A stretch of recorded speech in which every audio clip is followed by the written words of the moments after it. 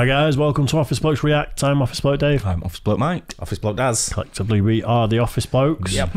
And is this a bit of stand up from Dave Chappelle? It's quite long, like It 40, is, isn't it? 15 minute Yeah, it's a long big one. reactions stand up. Well, Yeah. we could do the whole s- the whole set, but uh, it's probably about an hour, isn't it? Yeah, Comedians normally do about forty-five Yeah. minutes to an hour, don't they, on a set? yeah, Yeah. yeah. Yeah, fair enough. I've heard stories that people have said of Dave Chappelle doing like four hour, five hour sets, you know, where he just goes and starts riffing in a comedy club and just Yeah. just goes. Wow, that's a big set. Hmm. Yeah, Big set. I'd love to see him. I, I wouldn't survive that though. Four or five No, hours you'd be well comedy. gone. any No any chance. comedian, apart from Tim Minchin and people like that, where I think it's a four or lot. five minutes. I think it's a lot of developing ideas when people do stuff like that. I don't think they're absolutely mm. murdering No, for five no, hours straight. no. Yeah. because you would Not testing legitimately stuff. kill people mm. with that. Plenty of if that was the improv going on, I guess. And Yeah, Yeah. It's, it's a lot of testing stuff, isn't it? Hmm. yeah, true. Yeah. Well, we'll get into it. Dave Chappelle, Killing Them Softly, Part One. Is Killing Them Softly the name of the special? And someone's just parted Yeah. it, do you think? Correct. Not sure. Yeah. Right, fair enough. Let's do it.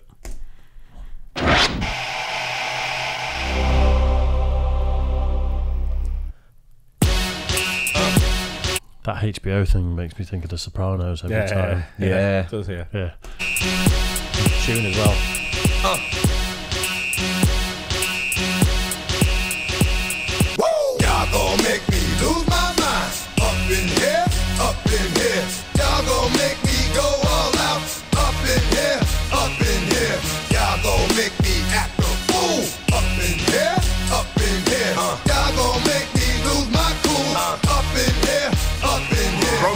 Historic Lincoln Theater in Washington, D.C., Dave Chappelle.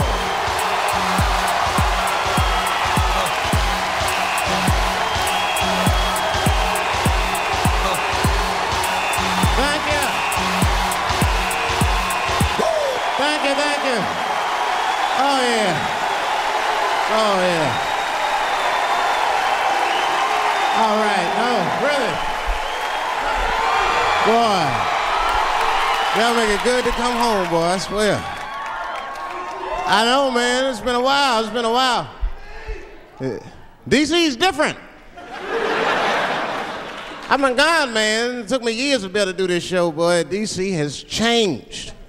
It's different now. It's-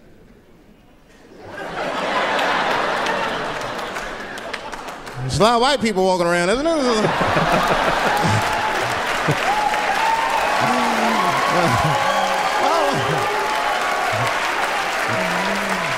I mean, I left, I left DC in the '80s. It was, it was not like this in the '80s when crack was going on. Remember when crack was going on? Uh, white people be looking at, at DC from Virginia with binoculars and shit.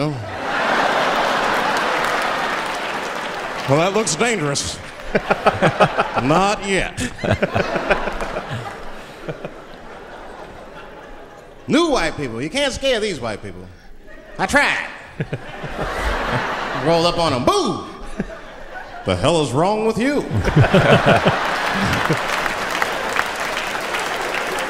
Those days are over. I'm glad that, you know, like we're doing a show here by Howard, you know, and you see like white people come out, and that's good. One thing I'm seeing, you'll be walking down the street and you'll see like a group of black dudes walking. Not just any old black dude, we talking, you know, thugs. Talking, you know, there'll be some thugs. And in the group, in the group, they got like one or two, sometimes as many as three white guys will be with them. You ever seen this shit? Let me tell you something about those white guys. Those white guys are the most dangerous motherfuckers in them groups. No, it's true. It's true, man. It ain't no telling what they've done to get them black dudes respect. Well, them black dudes have seen them do some wild shit, I'll tell you that. I've been trying to tell brothers that. Every, every group of brothers should have at least one white guy in it. I'm serious, for safety. Because when the shit goes down, somebody's gonna need to talk to the police. Didn't someone touch on that that we reacted to? But it was a more more recent where they were talking about phoning your white friend. It wasn't Katt Williams, was it? I think it was him. It was the, the you know when you get arrested, you phone your white friend, they'll actually pick That's up right. the Oh, phone. yeah, it was Katt Williams, yeah. I think it was, wasn't it? Yeah, Yeah. Yeah. this bit was called White Friends. It was in the uh, Yeah, yeah, yeah. uh, Of course. Is it Pimpin? Uh, It's, the it's all pimping, isn't it? Pimping, pimping, pimping Hey. chronicles. Yeah, Pimp, Chronicles, pimping. Yeah, yeah. I think you're right there, though.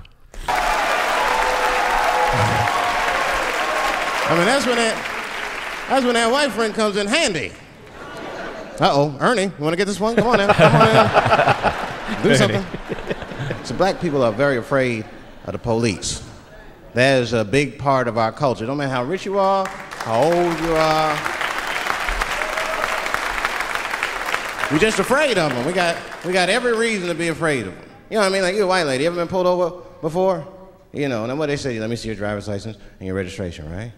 See? See, I'm just guessing. That's not what they say to us. You wouldn't believe what they say to us. Spread your cheeks and lift your sack.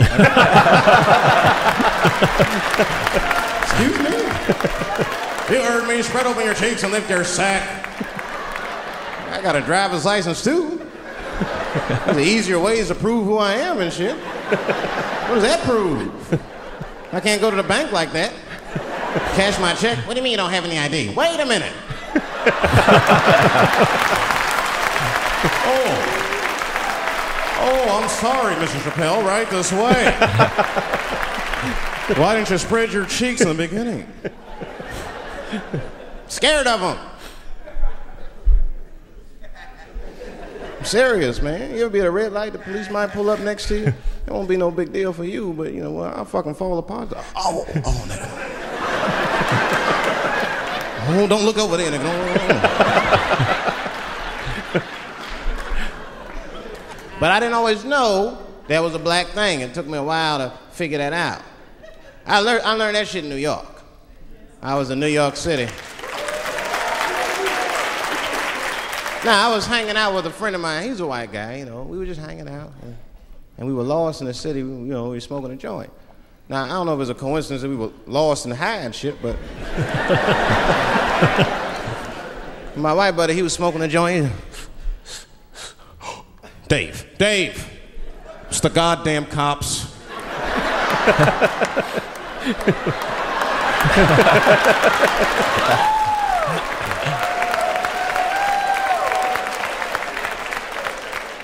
I'm gonna ask him for directions. I said, Chip, no! Chip, don't do it! It was too late.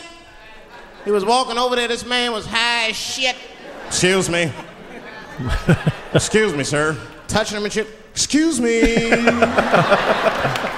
Need some information. Uh, start confessing things you shouldn't confess. I'm a little high.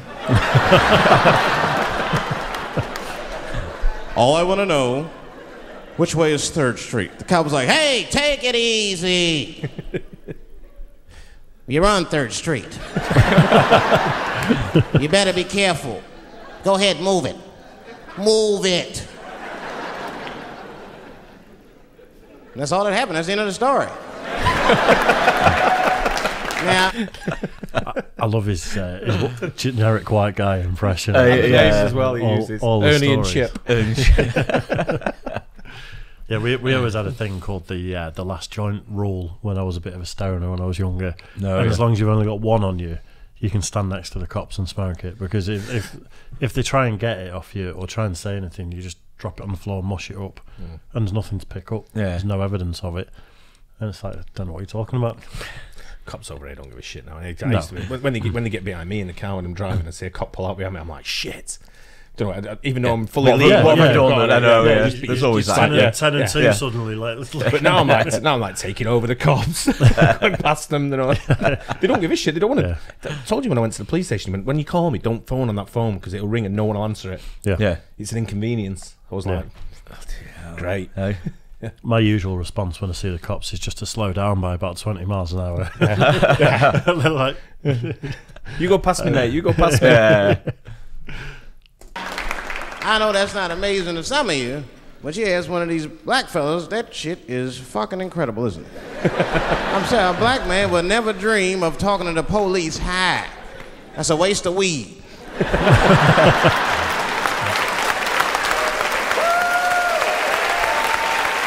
Serious. I mean, I'd be scared to talk to the police when I'm sleepy. They fuck around, get the wrong idea. oh. my God. That nigga was on PCP, Johnson. I had to use necessary force. You saw him. No, no, no paperwork. Just, just sprinkle some crack on him. Let's get out of here. That's how it is. But at the time, I didn't think there was anything racial about it. I was just like, man, Chip, you got fucking lucky. You better be careful. But then another time, me and Chip are driving. Now, I'm not driving. Chip is driving, and he's driving a little crazy. He's been drinking. Now, I don't like to let my friends drive drunk, but you know, I was smoking a joint. I couldn't really say shit to the guy.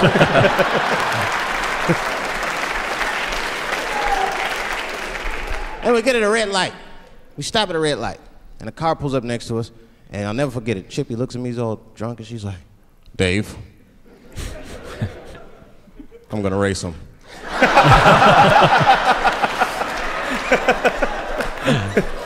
I knew it was a bad idea, but I was high. I tried to explain to him it was a bad idea, but all that came out was, well, nigga, sometimes you gotta race. I don't.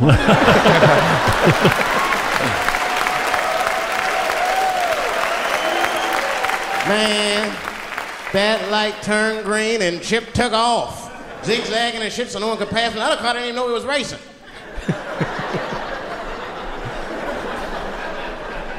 then the police seen us and pulled us over. Now you understand, I'm scared as shit.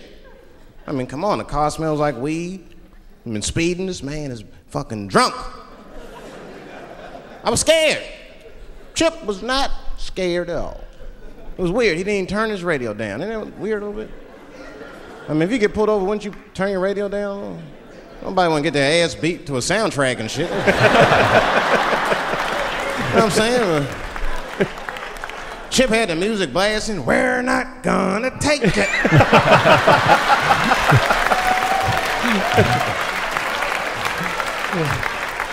He looked at me and said, Dave, just relax. Close your butt cheeks. Relax. Let me do the talking. You want to know what he said? Is almost exactly what he said. I, I couldn't believe it. He says, Oh, oh. Sorry, officer. I. I didn't know I couldn't do that. I was fucking shocked. The cop said, Well, now you know. Just get out of here. Just get the fuck out of here. Chip said, Okay, I'll, I will, sir. Thank you. What? What's wrong with you, Dave? I didn't know I couldn't do that. he said, That was good, wasn't it? because I did know I couldn't do that.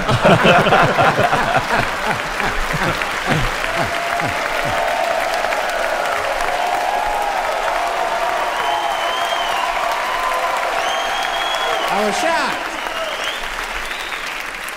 I wasn't shocked at the audacity of it. I was just shocked because I would have never thought to say that. I don't think any black dude would think to say that because they know we know the law. Every black dude in this room is a qualified paralegal and shit. He knows the law. I mean, if one of us even start to do something wrong, an old black man will pop out of nowhere. Nigga, don't do that. That's five to ten. Watch out. Well, we know the laws and the penalties. Guy Chip didn't even know he couldn't race. I'm not saying I don't like police. I'm not saying that. I'm saying I'm just scared of them. Nothing wrong with that. Sometimes we want to call them too. Somebody broke into my house once. It's a good time to call them, but I, I don't know. The house is too nice. It ain't a real nice house, but they never believe I lived it. It'd be, oh, he's still here. oh my God.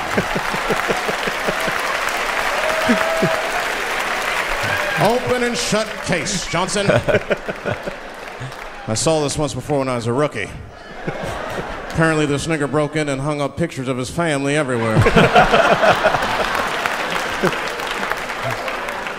Well, let's sprinkle some crack on him and get out of here. Oh, you know, Should definitely do a game where we drink every time he mentions crack. He'd be hammered by the end. Oh, of the just special. about, yeah, by the end of the first set, I think. Yeah. That's that whole brutality thing. It's- see, that's common knowledge now. There was a time when only minorities really knew about that. I'm not gonna say white people didn't believe us, but you were a little skeptical. You were a little skeptical. I mean, I don't blame you. And then Newsweek printed it, he knew it was the truth.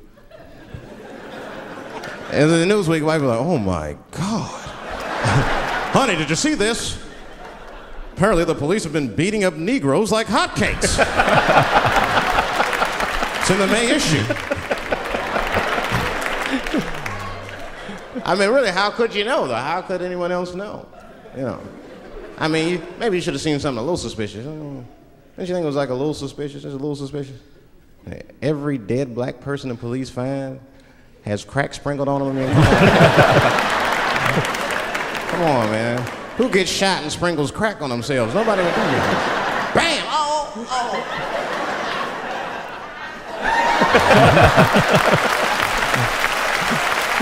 I don't want to leave no mysteries.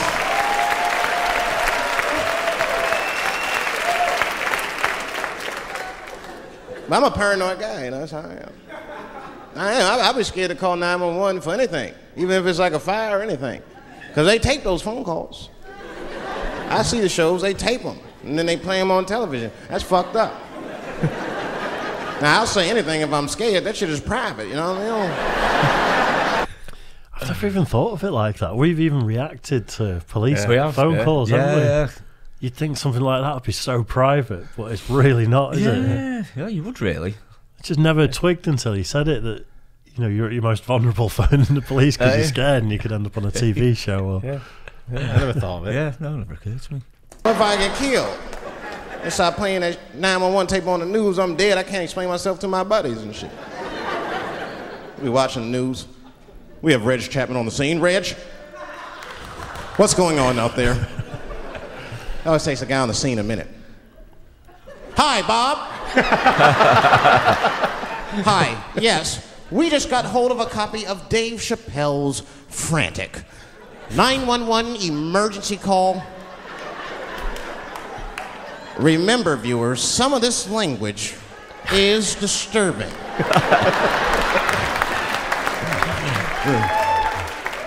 Hello, emergency. Help! Help, motherfucker, they're coming to get me! Just calm down, sir. Where are you? Oh, oh, I shit on myself. I can't stop crying. They play that shit 30, 40 times a day. All my buddies will be at my funeral looking at me. Oh, oh brilliant. yeah, We'll have to do the other one, part two. definitely. Uh, yeah, Brilliant. He really is the the high end comedy. yeah, absolutely. His top voices, bloke. his accent, everything about him. Yeah, his, his, his white bloke accents are really good, aren't they? His The name's voices, used- the name's used the as well. names, yeah. What was that last one? Um, There was Bob, wasn't there? Brad Brad Chapman or something. Reg Chapman. Reg, yeah. Yeah. it's just it's subtle, isn't it? Do you think he's tweaked like the white guy names in the story? Like when he's been working it out, it's been a Bob, and then he's tried a Dave, or he's tried a you know, try Yeah, a I'm Mike. sure. Yeah, Yeah, probably. yeah, And yeah, cer- yeah, certain yeah. names just hit the audience. Definitely, yeah. There's certain generic ones in that you probably use and pick up on. So uh, Derek. yeah, Yeah. Oh, I just sprang to. Legend, isn't he? But, uh, like that, yeah. Absolutely brilliant. Yeah. Yeah. Hope you guys enjoyed it too. Don't forget like and subscribe, please. Hit the bell, and we'll catch you on the next one. Cheers, guys.